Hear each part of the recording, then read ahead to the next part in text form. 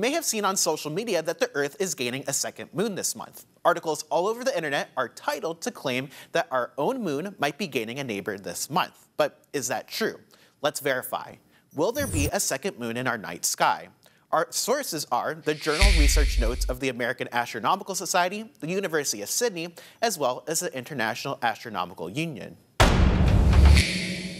Earlier this month, research out of Madrid, Spain was published showing that a 24-foot wide asteroid named 2024 PT5 would be captured in the Earth's gravity and appears to orbit the Earth from September 29th through November 25th. This event is titled as a mini-moon event. This is where objects such as asteroids slow down and are temporarily captured by a planet's gravity.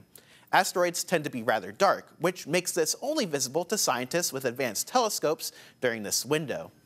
It turns out there is no hard definition for what is and isn't a moon, but the commonly used definition from the International Astronomical Union states a moon is a natural satellite, a solid object in orbit around a planet.